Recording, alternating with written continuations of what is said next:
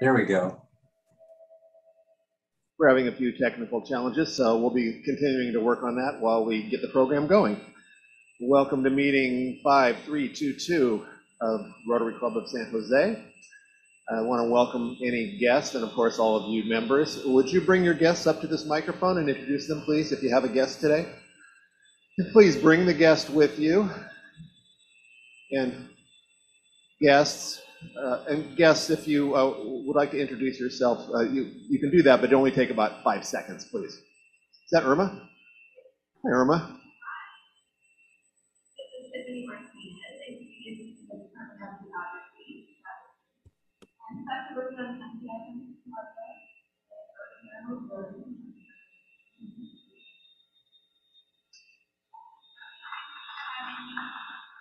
Welcome, welcome, Tiffany.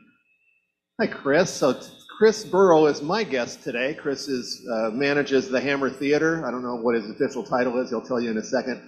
But we've become uh, friends over the last couple of years. And if you haven't been to the Hammer Theater, you should go more often. Chris, give everybody a little bit about yourself.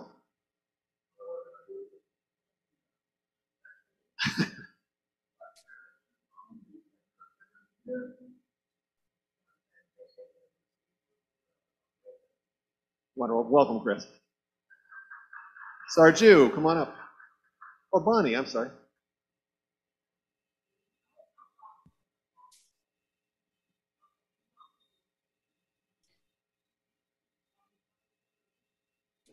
Aw.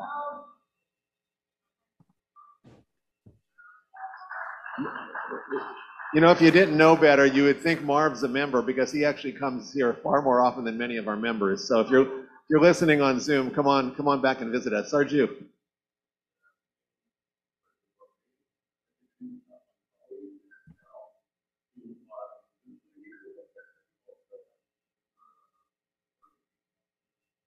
Welcome. Morris, come on over here. Good afternoon, Morris Chubb. I am part of the Unhoused Impact Committee, and tomorrow at 8 a.m. we have John Sobrato Sr. coming to talk to us about what he is doing for the unhoused. I don't know if you know this or not, but John Sobrato Sr. and his foundation outgives Google, Apple, LinkedIn, etc. to the to the unhoused. So this is going to be a great meeting. There is a QR code card on your tables. I thought you could capture the, the, uh, the QR code and then in your phone and then use it. Apparently not. I, I'm, I guess I'm techno technologically uh, challenged. There are a few cards around. I brought 20. If there are people who need, I've got a few more. There's, there's one on each table. If there's more that needs it, uh, you know, just write on the back of it, write your, your email address, and I'll send you the code. Thank you very much. Thank you, Morris. Morris and uh, my friend Brian Franklin. Is Brian here? Where's Brian? Oh, Brian. Uh, they uh, took over this committee for me a couple years ago, so I, I'm deeply indebted to both of them for liberating me. But uh, if you want to go to that meeting and you're confused, just send one of them an email and they'll send you the Zoom link for tomorrow. Uh, come on up, uh, Alfredo Bacari and Debbie Caminiti.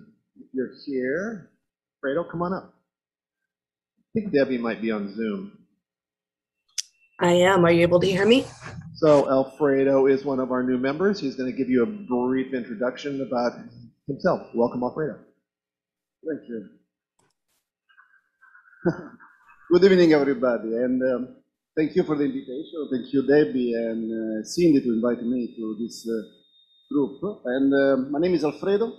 I've been uh, came I came in USA 20 years ago. I'm from South Italy, Calabria. I've been in Rome for 18 years and uh, 21 years here in San Jose. I'm an architect. I have my own company. I have a beautiful daughter. She's a teenager. Oh. She loves me tomorrow less. and uh, I live in Willow Glen, nearby. And uh, Thank you much. I hope that I'm gonna meet so many friends.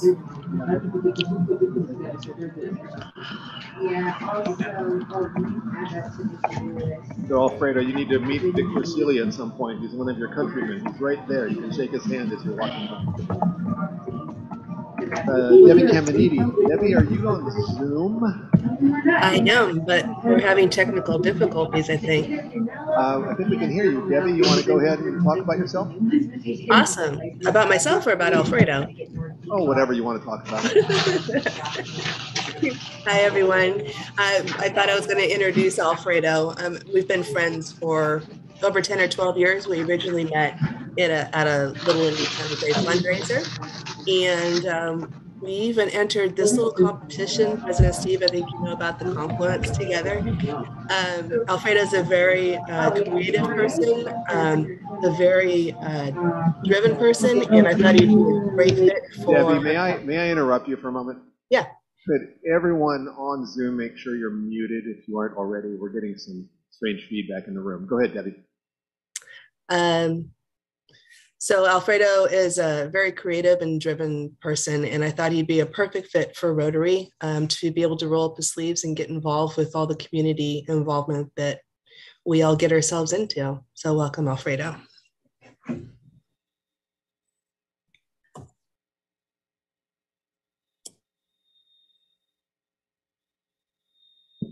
we go. Thanks. Uh, Catherine Vandiver, are you here somewhere? Come on up. Catherine's one of our COVID cohort members. She came in uh, during Fernando's time. And uh, so now we get a chance to see her, and she's going to talk to all of you. Hi, everyone. Just a quick introduction. I know Steve likes this fast, so going to be quick. Uh, Catherine Vandiver. I grew up in San Jose, having been born in San Francisco. I'm a graduate of San Jose State in computer engineering. I was one of the first. I was one of the first uh, students to graduate with that program, and I'm exceptionally proud of that fact. At that time, we had about 35 women in engineering, and today, as you know, that uh, has really depleted to around 11%. So I do everything that I can to encourage women to go into this field in particular. Um, I, after graduating, I did the Silicon Valley tour. I was with Hewlett Packard, Apple, Sun Microsystems, Netscape, VMware, Intel for a short while, and then I went into a whole bunch of startups where I found my zen. So I'm absolutely loving it. Um, and that's pretty much about me, and here I am today. So thanks again.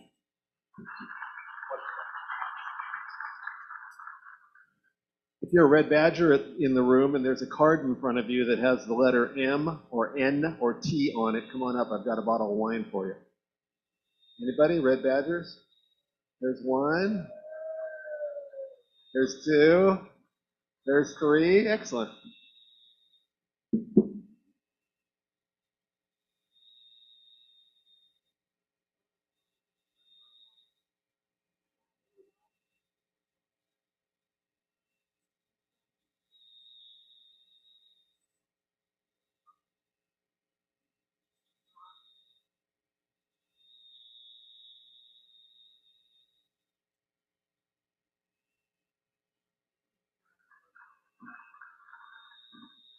And thank you, Bert. Leslie's got something to say. Come on up, Leslie. Hi, Steve. You can go back to the podium now. I'm going to go back to the podium.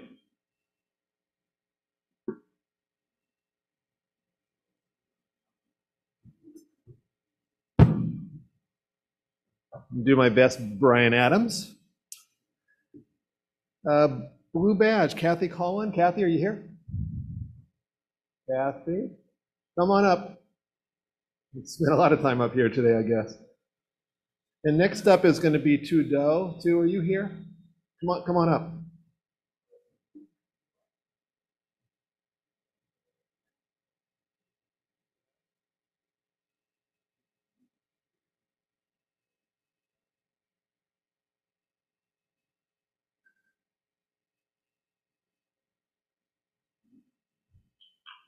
Yeah, give her a round of applause.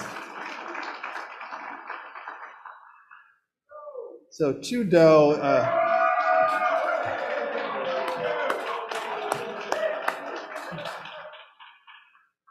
you don't know too, you should get to know her. Uh, she does incredible work, and she's going to tell you a story about uh, Roy Russell School. Any of you who know Roy know he was a top-notch uh, Rotary member for decades and decades, and many of us loved him. So, too, it's all yours. Thank you, thank you, everyone. Thank you, President Steve.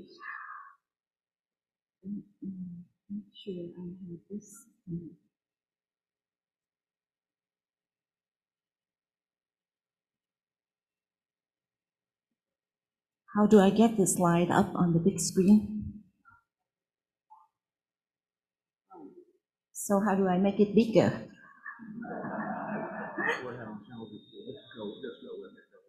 Oh, okay. So I will just go with the little tiny screen and I hope you can see.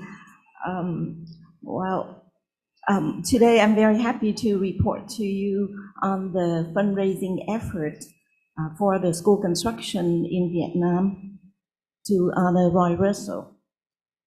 And well, first, let me tell you about the International Feast on Friday, October 1st at the Gordon House. 81 guests came to the event. This number is beyond our expectation.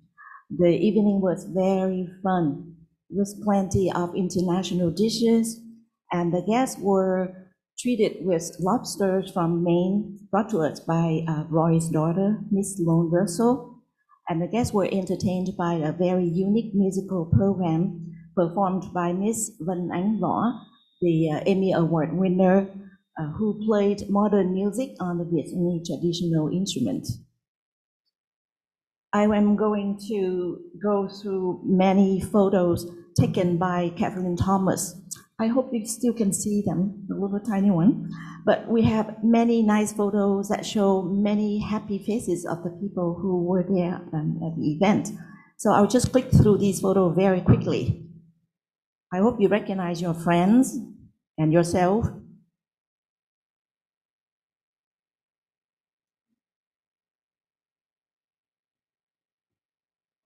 There is no music, and I'm not going to talk much during this um, slideshow.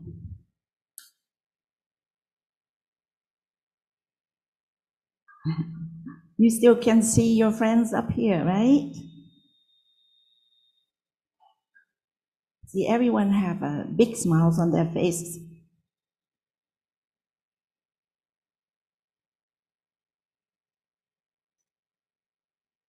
While you're looking at these pictures, I would like to take this opportunity to, um, uh, on behalf of the ISC, the International Service Committee, hey, you can see them. I like um, Terry in this picture. You see, she really enjoyed the lobster.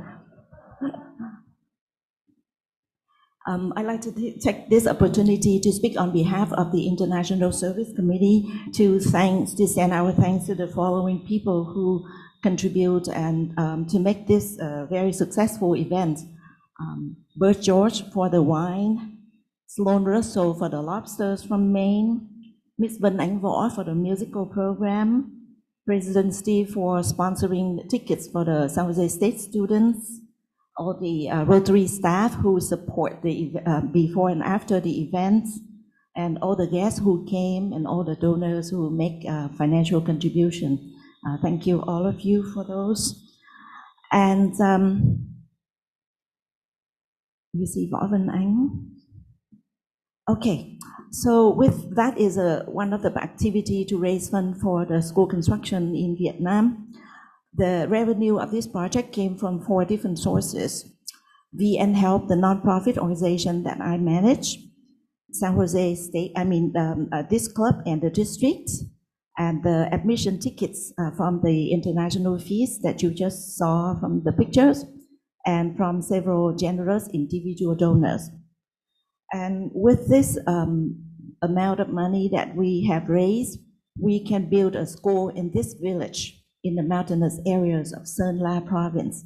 The village have 11,000 people, and this is the school they have right now. These are three classrooms, and this is the condition, uh, the current condition of the school. You see inside the classroom, it's very unsafe and very uh, not suitable for the students. So our project will build an elementary school in this mountainous area. We will build four new classrooms, one teacher room, and two restrooms for boys and girls. And we will also repair and renovate the, the classroom that you saw. So at the end, when we finish this project, the school will have seven classrooms to serve 200 elementary students. So what is our plan? We will, uh, I will go ahead and make the plan to execute this project.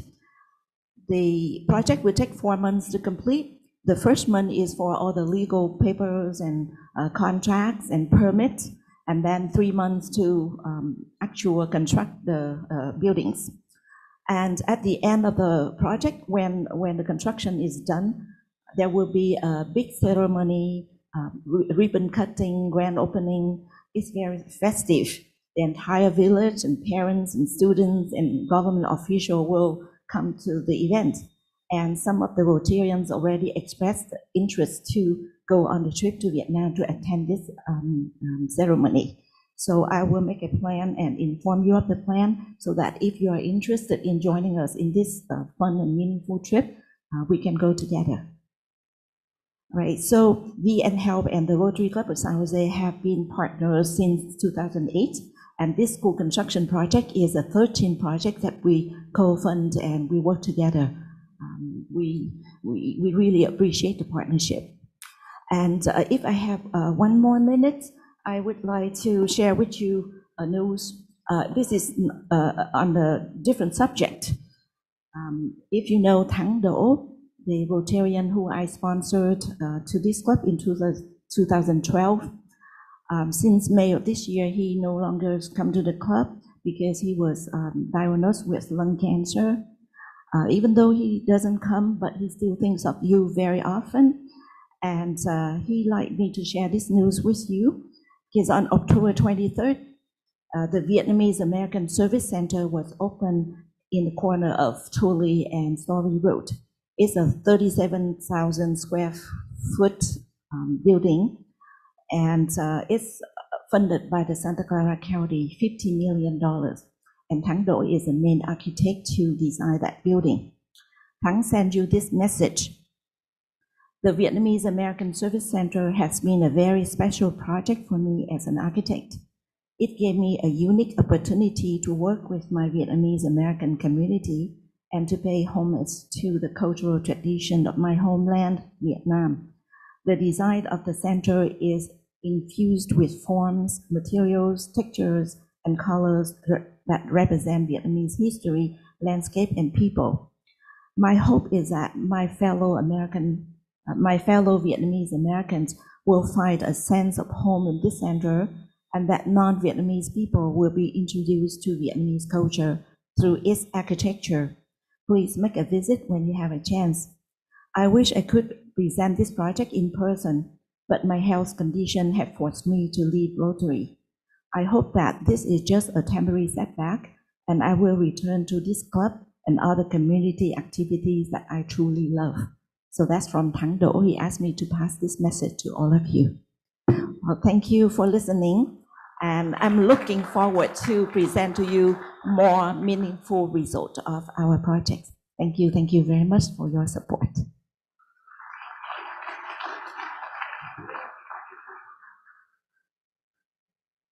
That's a good reminder of why we're in Rotary. and everybody, Thang is a wonderful guy. If you don't know him, uh, you should get to get to know him. And, and uh, Thang, if you're listening, uh, uh, our best to you. Uh, that's from everyone in the club.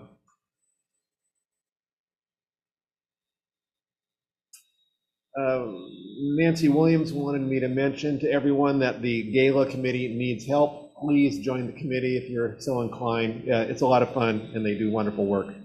Uh, Janica Clem, come on up and introduce today's speaker.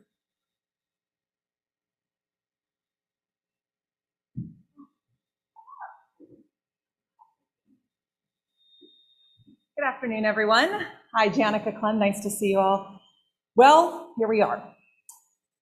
We are building the world's most experienced driver. This is what Waymo is focused on and what our illustrious speaker is here to speak about. Michelle Peacock is the head of uh, policy sorry, public policy for Waymo, the autonomous vehicle company founded by Google.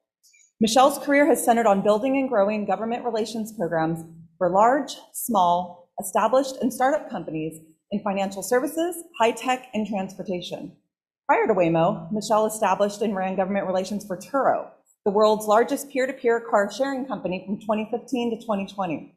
She accomplished a tremendous track record of success, including legislative initiatives in 43 states. Michelle has also been instrumental in setting up GR programs for companies like eBay and then later PayPal, and she's also led state government relations for Cisco and Microsoft. Michelle has many ties to San Jose. She is a former board chair of the San Jose Chamber of Commerce, and she served with me on the Chamber uh, Foundation Board. She lives in Willow Glen, and her and her family can be found making trips to SAP to cheer on the San Jose Sharks. It is my pleasure to introduce Michelle Peacock.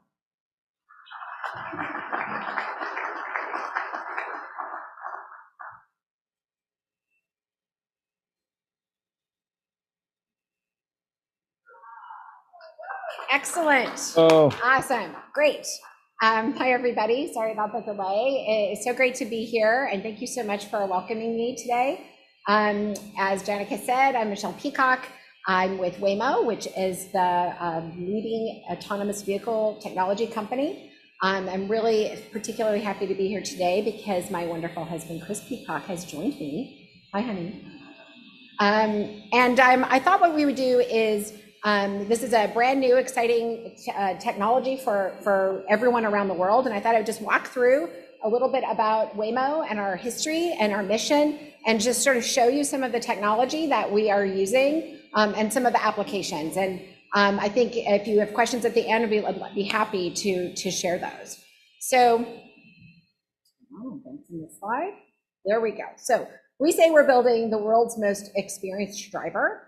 Um, the, the company that we um, are, are my, my company Waymo has built the suite of software and hardware that applies to a base model car. And, um, and in doing that, creates an opportunity to get people and things where they need to go fast and safely. Um, and that is the mission that drives everything that we do. Um, and the future, the, the promise of this technology is pretty, is pretty remarkable.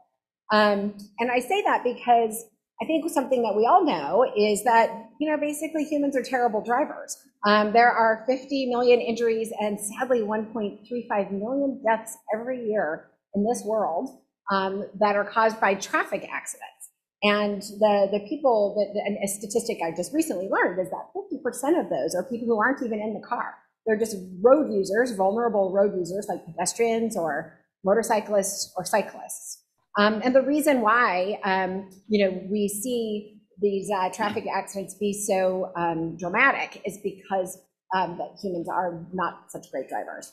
Um, I was thinking about asking for a show of hands, if any, but I don't want to get to the bottom of this list and have people have to say if they've ever driven under the influence, so we'll skip that part.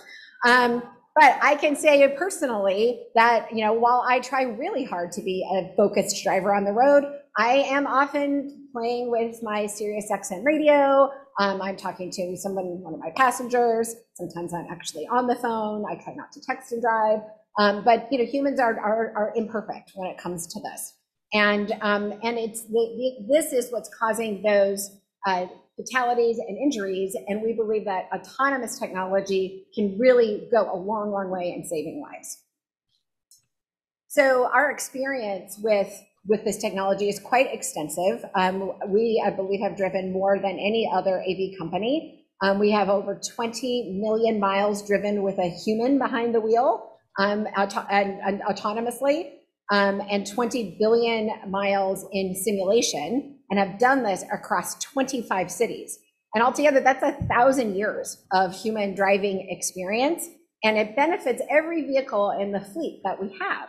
Um, so I want to just walk you through a little bit more about that technology and why we think, how we started developing it and why.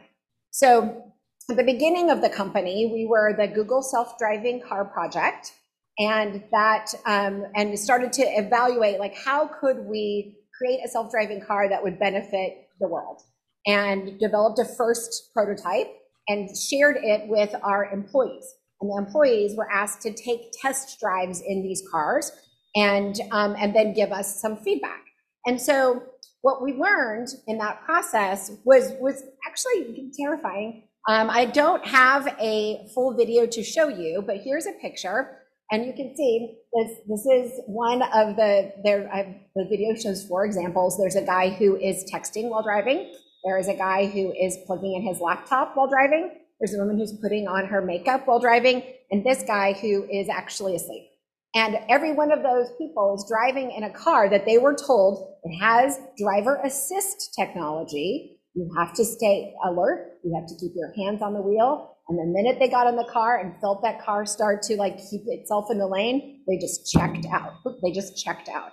And so this was the thing that was really, really scary for, for us to, to learn. And it supports this idea that humans just are human and are not able to keep maintain that level of focus and attention that is required for safe driving. So what we decided to do is pivot our business from scaling up AV from things like cruise control and then increasingly more sophisticated levels of automation. We decided to pivot from scaling to focusing just on here, the, it says level four automation. If afterward y'all want to do a deep dive on the Society of Automotive Engineers levels of automation, I'm happy to walk you through that. But the big takeaway here is that that line down the middle on the left, on the white category, that is driver assist technology. That's what Tesla Autopilot is. You have to maintain control of the car and stay hyper vigilant. On the blue side, high automation is um, where no driver is required. And so the company pivoted to focus on no driver required and skipping all of those other levels. And, um, and, in, and in doing that, it had a really profound impact on our business, and they were able to, to take off. And so this is a picture of the very first prototype car. Um, it's adorable. It's called the Firefly. It's so cute. And you can see the man in the car is the very first person to ever take a ride in an autonomous vehicle on public roads. His name's Steve Mahan, and he is visually impaired. And you know, I like to talk about Steve because this is the reason why autonomous vehicles exist. They can give access to people who have difficulty with transportation. Um, I was thinking about my mother this morning. Um, in fact, I'm wearing her necklace because I was thinking about her. And she, at the end of her life, could no longer drive, and she needed to go to the doctor a lot. And her her attitude was, I'm I'm not getting in a taxi. I'm not taking Uber or Lyft. I don't know who that is. I don't know where they're taking me. I am not doing that. And okay, Connie, you're, you know, you got a lot of opinions. That's cool. Um, but I think about her all the time because this is the kind of product that would have helped her have that rich life toward the end of her life when she no longer, she would feel safe. She would feel like she would get to the place that she needed to go, get her medical care, see her family members much more easily and simply, and be more independent in control of her life. Um, I wish she was around to see this. I think she would be really, really excited, and she probably would have, you know, fought Steve Mahan for the opportunity to be the first person. Um, and so, you know, moving on, um, that was the beginning of the company. In 2016, we spun out of Google, out of the Alphabet business, and became Waymo, our own independent company, outside board of directors, outside investors. Um, and we really started to focus on building the Waymo driver, um, which is what we call this suite of technology. So, uh, um, so the Waymo driver is just how we talk about um, our autonomous tech, and it is a technology stack that has hardware and software and is upfitted to a base model car. And so those, so we're not building, we're no longer building the adorable Firefly. We are partnering with um, uh, automakers to buy cars from them and then outfit those cars with this tech. So the first car um, that we did with this new format, as you can see here on the far left, is the Chrysler uh, Pacifica minivan. Um, and that is a, a, a, was our first model that we did this with. The second one is the Jaguar Land Rover I-Pace, which you can see right there. And then the same technology can also work with Class 8 trucking and our delivery vans. And you can see them over here, well, sort of on the blue, the blue truck and the blue van. Um, and the idea is that as these cars are driving on the road and taking in more information and more data, they can use it to perfect the autonomous technology. And so because that is a shared technology foundation across all of these platforms, all of the platforms, all of the different cars and their um, base models will benefit from that experience. So I'll just talk quickly about the technology here. Um, it is in two pieces, hardware and software, as we've been talking about. Um, starting with the hardware, this is a, bird's eye view of the uh, Jaguar I-Pace. And it is, you can see, I don't have animation and I'm sorry, but normally it's pulsing and it looks really, really cool. Um, there, we use three kinds of sensors to take in information to help uh, the car and the, uh, the autonomous technology work. We use um, LiDAR, cameras, and radar. Um, LiDAR is, and I, if there's, if there's light engineers in this room, please don't call me out on this, as I'm not an engineer, but my understanding is that it shoots out photons, and, it, the, and the photons bounce back. They is measured by a laser, laser, and it helps create a three-dimensional picture of objects around the car. So they use that combined with the cameras and combined with radar to create this picture um, of what is going on in the environment around the car, up to three football fields away and 360 degrees um, around the car. It's pretty spectacular. Um, looking at the software, what's cool about the, the software is that it asks and answers four important questions.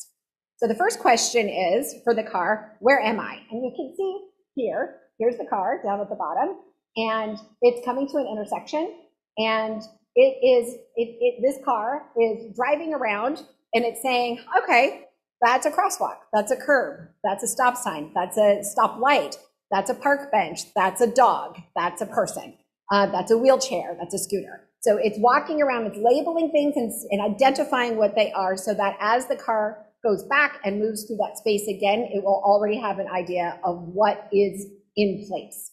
And then the software asks this question, which is, what is around me? And so then it starts this uh, strengthening this labeling project. They will say, oh, these are cars that are that are around me, and these cars are stopped, or they're station they're stationary, or they're moving. And if they're moving, they're moving at this speed, and they're moving at this speed in this lane. And that seems like what it should be doing. Or it's moving at a different speed in the wrong lane, and that's not what it's supposed to be doing. And it con conducts that assessment and senses what's happening in fractions of a second over and over and over again.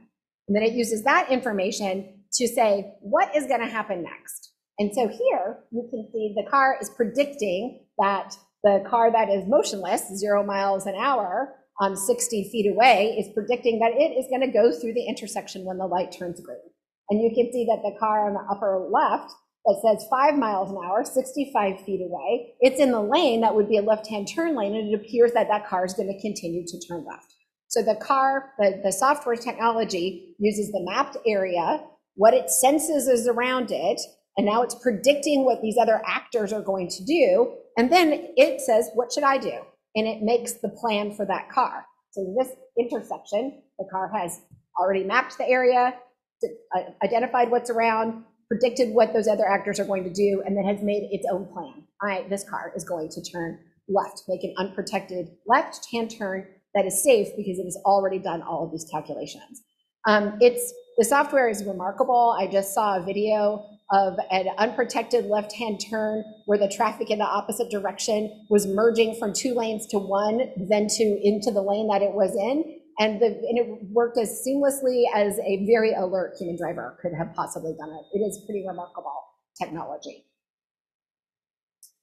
And so with this great suite of technology, we can, you know, sort of start to think about what, how can we reimagine tran trans uh, transportation? Um, we have two lines of business that we're focused on at Waymo. Uh, Waymo One, which is a robo-taxi ride-hailing business, and Waymo Via, which is our goods transportation uh, business. Um, starting with Waymo One, um, starting in uh, April of 2017, um, we invited members of the public in Chandler, Arizona to start to take rides in these cars that were still in the testing mode. And we were very excited to see um, it launched a year ago, a fully commercial, fully driverless ride hailing business in Chandler, Arizona. So today, you could go to Chandler, and if anybody has trips to Arizona anytime soon, you should definitely do this. You download the app on your phone and you summon a car just like you would Uber or Lyft and the car shows up and to pick you up and take you where you're going, and there is no one in that car. It's an empty car. And then you get into the back seat of the car, and there's a little screen that will greet you, and the screen just gives you information. Here's the route we're taking. It shows you a picture of what the car is seeing around it using that LiDAR and cameras and radar. Um, and you can, you know, it'll play music for you. You can plug in your phone. You can use YouTube music. You can use whatever you want, and you get safely um, on the other side um, of your ride. And the the thing that is that I've heard, I have I'm going to take my first ride next week. Thank you, COVID. It's been a, a crazy time. I haven't been able to get into one of these cars. Um, but that what I understand from folks who have done this is that when the car shows up and you get in, it is a little scary and uh, and very exciting. And then the car starts driving you to your destination, and it gets boring really fast because it's just a car following the rules of the road, sticking to the speed limit, signaling, changing lanes, and taking you where you need to go. And you know, from where I sit, that's the goal, right? Let's have that be a really boring, safe ride getting you to where you need to go. Um, I had a little video here. Unfortunately, it's not going to work for us today, but this is a you know pictures and um, images of people taking rides, and it, it, it's that same exact thing. They're like, "Oh, that went by fast. That was really cool." Um, and I think it's interesting to imagine a way of you know a new way of having transportation where you know you can reclaim some time, and you can reclaim some time with your family members, with friends, or alone, and it isn't a shared car with a human driver that you don't know. And there's some benefit. I think there's definitely some benefit to that. Um, here's a picture of the Jaguar I-Pace that is um, currently running routes in San Francisco. We, um, a few months ago, opened up what we call our Trusted Tester Program. So members of the public can take rides in this car and give feedback to Waymo about their experiences. We want to make sure there is a really strong commercially viable uh, program um, for, for our, our customers. And, and San Francisco, as you may know, is a unique place that has some uh, quirks to it, and we want to make sure we're trying to address as many of those as possible. Um, and so if you would make it up to San Francisco and you see one of these, that is what you are, are seeing. And then um, the other line of business we have is Waymo Via, which is our Class 8 trucking and goods delivery business. Um, we are currently focused on this I-10 corridor um, this is where a lot of the uh, Class 8 truck businesses are focused. Along the southern route there, it is you know viewed as a you know safer route with less weather issues to have to deal with. Um, we currently have some small testing going on in the Bay Area. We have a hub in Dallas. Um, and are you know running these routes along this corridor, um, mostly uh, around Texas right now and through to Arizona and New Mexico. Um, we are not doing running routes with goods in California yet. California needs to make a law change for us to be able to do that. Um, and then we also have our goods delivery. Um, oh, this video is working great. Um, where we are using the uh, the Waymo One car platform to deliver goods for um, partners that are interested in, in doing more local small goods delivery. The interesting thing about this, though, is especially during COVID, we have all been trained that the person who is driving the delivery van is going to get out and take that box and walk it to the front steps. And here, in this, there is no driver. So we have to retrain some of our customers to be on alert for when that uh, car is, is arriving with their goods and they have to go out themselves and get it. We'll see how that works. I don't know. People seem a little much, they like they have the high touch uh, experience. And so um, we are doing this currently in Arizona with a couple of partners, um, UPS and AutoNation, where we're helping um, just shuttle goods back and forth for to different UPS depots, and for AutoNation helping to deliver auto parts um, when they when they need those, um, and we do that in autonomous fashion.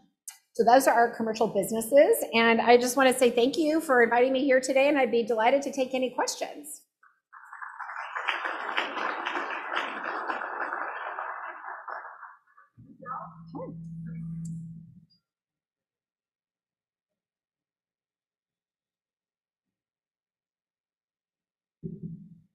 A reminder, Red Badgers, you have a pass. You get to go to the front of the line if you'd like to ask questions, whether it's this week or next week or any time while I'm up here. So during the next year, you can always come up and do that. With that, uh, Janica is going to manage the questions.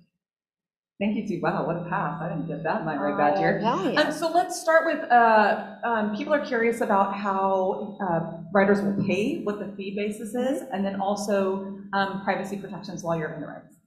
So uh, as far as the, the fee, that is still TBD. Um, you know, we are trying to be really competitive and offer a really luxurious experience um, with um, for somebody in that car. Um, but I think if you were to sort of gauge it, it would not be like a five-star Michelin dinner expensive, and it wouldn't be, you know, Jack in the Box expensive. It would be right like a Starbucks drink expensive. So that's kind of how to think about where we're aiming our um, where we're aiming our pricing, but it has not been set yet for Bay Area. And privacy.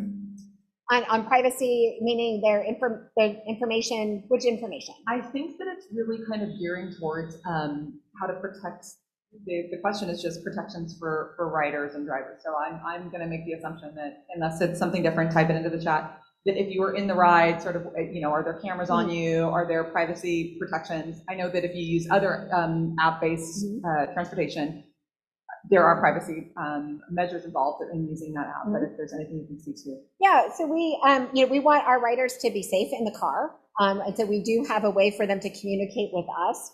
And, um, and that would be, you know, if they summon assistance uh, by using that touch screen in the front where they can, we can engage with them. Um, you know, we're not, we're, we're not recording people inside of the car unless it's a video for purposes. And um, as far as externally, you know, we do take in a lot of data out in the community, but none of it is personally identifiable. We are saying that's a person. We're not saying what person. Um, we look at their the position of their head to know the direction of their gaze so that we can predict what is going to happen. But we are not saying, oh, that's you know Danica's face. That is just it's just a face. That every Wednesday and Thursday, Janica goes to the bar. No, we don't. and comes We don't do Good that. to know. We don't do that. Okay, up next, please.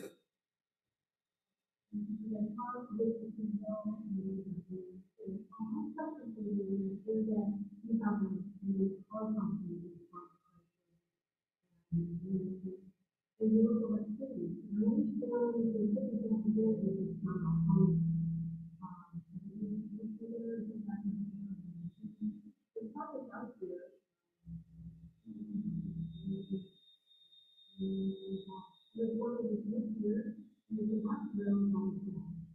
So Sorry, the question was, uh, is Waymo um, driving in San Jose right now, and what um, uh, car partners are you working with? They, they can't hear on the mic. That, no, that's fine. So the, the car partners we're working with right now, um, you saw here the Chrysler Pacifica, um, so the Stellantis company, and the um, Jaguar Land Rover for the I-Pace. Our other partner is Daimler for the Class 8 trucking. Um, so those are our automotive partners at the moment. And then um, as far as San Jose, I mean, believe me, I would love to have uh, the uh, Waymo be operating in San Jose. We are not yet. Um, the, the path that we chose is one to take to tackle like the most difficult thing that we can do and if we can make that work well then it's much easier to deploy in, in more simpler domains as you all probably know san francisco is one of the more complex operating domains and geographies that you could conduct a business like this in so they're putting a lot of focus on understanding what is involved within San Francisco, with the idea ultimately that uh, communities that are less complex will be a lot easier for us to enter. Excellent, thank you. So another question. um, So now that you guys are an independent company, do you think there will be any brand rebranding? Will Waymo maintain the name? Any sort of change there? And then also, will there be any change inside the car? Will we ditch the driver's seat or any of that? So as a company then in, car. Uh, so we are, we're not, at this moment, we don't have plans to ditch the driver's seat or the steering wheel or any of those things. Some of our competitors are taking that step, but we still think it's important to have the option to move a car manually if necessary. So we will, um, that will remain in the car for the time being.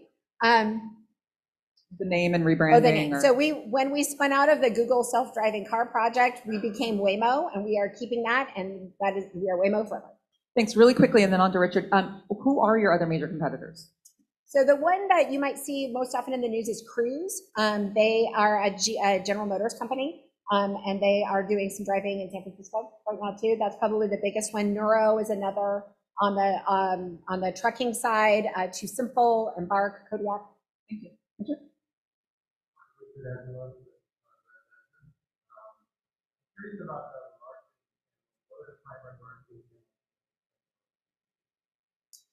So we're doing a lot with public education right now. Sorry, the question was about marketing and, and usage of the, the vehicles. Usage of.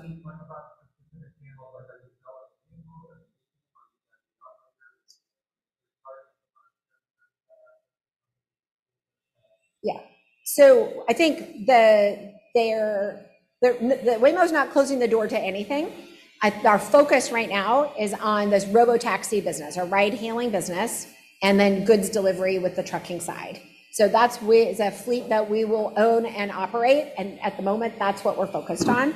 Um, in terms of finding our customers, we are doing a lot in public education um, with a, a campaign called uh, Let's Talk Autonomous Driving. I invite you all to take a look at that and maybe sign up to get updates.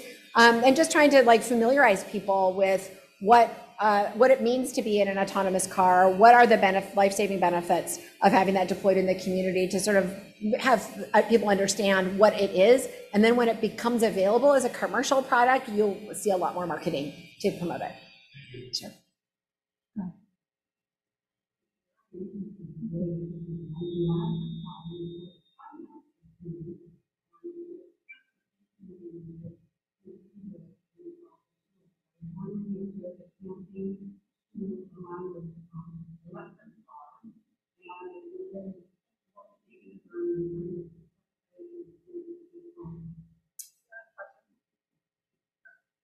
Deanna's question is around um, environmental impacts, if there's, uh, they're looking at electric vehicles and sort of how to decarbonize this, this new technology. So um, thank you for raising that question. It is really um, something that a lot of people at Waymo care deeply about. Um, our sustainability team um, is digging deep into how we can best reduce our carbon footprint uh, across the board. There are some challenges with that because, for example, there are no electric Class 8 trucks. They're just, they don't exist yet. So, you know, for the community to put pressure on the truck manufacturers to pivot in that direction would be tremendous. Um, we are really proud to say that um, the Jaguar I-Pace is all electric, um, and the Chrysler Pacifica is an electric hybrid uh, car or pl- plug-in hybrid car. Um, and you know the the I-Pace represents the next generation. I think it's I think I, can't make a commitment on where we are going to be with all of our future um, automotive partners, but the trend in the industry is very much aligned with what you're saying. That deployment of EVs is going to be critical, and it's important for the environment. It also is really helpful for the tech. What I didn't show you is that there's a big computer in all of those cars, and it needs a lot of power too. And that electrical energy is really, really helpful in making those those computers work well. And that's why we need the investment in the grid. Um, so Carl Salas has a question. Uh, why did you pick Chandler uh, for your site? And he has a staff person there, and can he literally download the app and have a car pick him up? Uh, yes, the answer is yes. That staff person can download the app and have a car pick them up and take them. Carl, that's Abs- pretty cool. Absolutely can happen right now. Um, we chose uh, Chandler um, because as the first place to launch this business for a couple of reasons. One, the regulatory environment was very favorable, and they were very eager to to see um, autonomous vehicles deployed there. Um, and so that in fact, the governor issued an executive order that made it that cleared the path for us to be able to do this. And then that was turned into actual statute earlier this year. So Arizona has been very favorable uh, for us as a, on, the regulation side. The um, and also the this Chandler this the community is very simple domains. We were talking about the complex domains earlier. It is a very simple one. It's a great place to start and to try out these new technologies with lots of straight streets. It doesn't go much over 45 miles an hour, I think. And so um, it's it was a, it was a good like lineup of all of the things that we needed to to start our business there. Thank you. Amanda? I was interested in the up part. I think it's huge, very negotiating streets and backing up coming across uh, oncoming traffic in order to back up the Are you, is the company just planning from A to B and then having a driver take over? to- to the- Like the surface streets, uh, yeah. So I think I think this is um, where the industry is. You know, we, we can talk about where we are today and where we want to go. So where we want to go is just what you said. These trucks can do those tight turns and navigate those complex domains really easily. The technology is not there yet. Um, so in the short run, a lot of the companies are working focused on the long haul trucking part, which is the part that's hardest for truck drivers, right? It is the part that's hard on their bodies. It's hard to be away from home. It takes a really long, long, long time. Um, and I believe most of the industry will still need a way to sort of bridge from the interstate to the depot or the interstate to the warehouse. Um, and those are things that the industry is working through. Hi, Steve. Hello.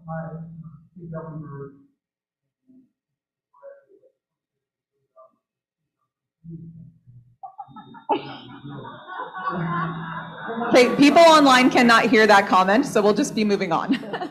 He's very bald, is what he said. Um, so my, my question is millions of jobs that are lost. and See, converting every farm and crop. to this market. What is Glenville doing to address that? I'm just curious, who is- who is- turned out, to have millions of jobs. Steve's question is around drives and as um, these trucks come online and other cars come online, the jobs that will be impacted. So I think it's a, it's a great question, um, and one that we're taking very seriously. I think the, the, the thing to remember is all, while this technology exists today as a widespread phenomenon, it's going to be a very, very, very long time before jobs, that level of jobs would potentially be displaced. Um, you know, we're talking about, a, we're the only company to have a commercial product in the market today anywhere in the world, and that is in Chandler. And that's a really, really small market. So we have a really long, long, long time before, you know, this becomes a, a major significant issue. At the same time, we also know the Department of Transportation did a study recently. It talks about how many jobs are going to be created. Um, and they did the, the difference between job, potential job loss and the number of jobs that are created. And it is actually in the net po- positive side because there's a whole new opportunity. If you can remove, for example, long haul trucking, if you can remove the long haul part and then give people opportunities to do more short haul trucking, surface street work, working on the warehouse, learning the technology, working on maintenance, doing a whole bunch of different kinds of new, new things, it can create a lot more opportunity. I think this is, it's a super important issue. It's one that we're taking seriously. We have a lot more time than I think people think we have before we have to answer that question um, with a, with a solid answer. And in the meantime, the studies and the research shows that there could be a net plus benefit to jobs. Thank you. Art? I have two questions. Okay, make them Fir- quick. First, very quick, uh, and I'm not as bald as Steve, but close. Um, What is the accident and death rate on Waymo-driven cars as compared to the general rate? And are there any plans to go public? So the question is, are they planning to go public and what is the accident death rate so far um, in usage of Waymo? So I can't answer the second question, I don't know. So there's that. She hopes I'll answer it. yeah. Um, The first question uh, is about safety and the accident and death rate. And I'm glad you asked this question because it, we have a tremendous study that we just did in the city of Chandler, which is where the only commercial business is operating. We took all of the traffic fatalities for the last 10 years that occurred in Chandler, Arizona, and ran them through our simulator. We talked about that at the beginning ran it through the simulator and substituted one of the cars in the accident with a Waymo car, either the um, in, in- inciting car or the receiving car, and did it for both, for all of the traffic fatalities for the last 10 years. And um, what happened was that the Waymo driver mitigated all of the fatalities. So it reduced fatalities to zero. And where there was an accident with an injury, the severity was significantly reduced. So the reality is, most accidents, as we talked about before, are caused by human error and speeding, driving distracted, driving drunk, driving, you know, drowsy. All of those things contribute to it. When you replace one of the cars with a, a, a robot that is not going to do any of those things, we're going to save millions of lives. Thank you. Before I thank Michelle for her time, I also want to let you know that this is going to take a major policy push. So if anybody is interested in this technology, we really need to make sure that our elected officials understand the importance of this, how this could um, positively impact our life, the concerns that you may have. That's the work that Michelle and her team do. So that is something that's really important. If you want to have more information, just reach out to me and I'll make sure to connect you. Thank you, Michelle, so Thank much for your time. And here's Steve.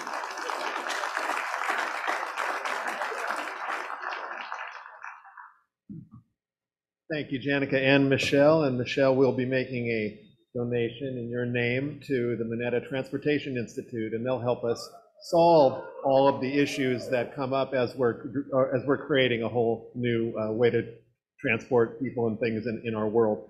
A couple quick announcements, and then I'll get you all out of here. Uh, Rich Angeloni, I think, is the chair of the Red Badge Committee. Rich, are you the chair? Rich, Rich, come on over to the microphone. Come on. Rich has a wonderful project Red Badgers are doing, and he'd like to make an announcement. Rich, come on up here. Or use Janica's microphone. While Rich is getting going on that, I have an announcement to make, which is, there's a Van Gogh exhibit at the Blue Tent currently next to the Convention Center. And if you haven't seen it, you should go. go. This is one of the most magical art experiences you'll ever have. The music, the Van Van Gogh, I can't imagine anyone not liking Van Gogh's art. So that's just a personal recommendation. Get over and see Van Gogh. Rich. Thank you, thank you, Steve. Um, Most of you have probably seen the carousel on, across from the SAP Center on of Clarence Street or South Montgomery, North Montgomery. Um, Barack Obama Boulevard. sorry, Barack Obama Boulevard. It's dirty, it's dusty, it's in disrepair, and it hasn't been used in years. It's a disgrace. I mean, that's, that's our living room as a city, really, at such a visible spot. Anybody going into the SAP Center, driving by, visiting the park, it's in horrible condition. So our Red Badge Committee um, is going to be out there on Saturday, November 20th.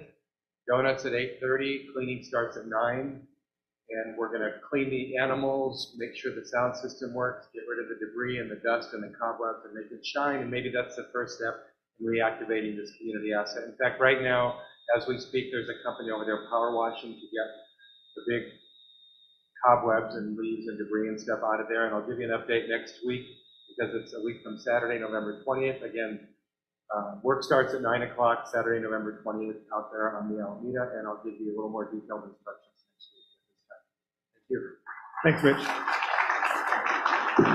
Uh, Thank you, Rich. Another announcement, we'll get you out of here. There are tickets to the San Jose State football game on your tables. Thank you, Dominic. Dominic, where are you? Wave your, wave your arm. Dominic's one of our new members, maybe he had to leave. Wonderful young guy. Uh, Take the tickets, go to the game. It's really fun. A few of us went a couple weeks ago. Uh, With that, meeting adjourned. See you next week.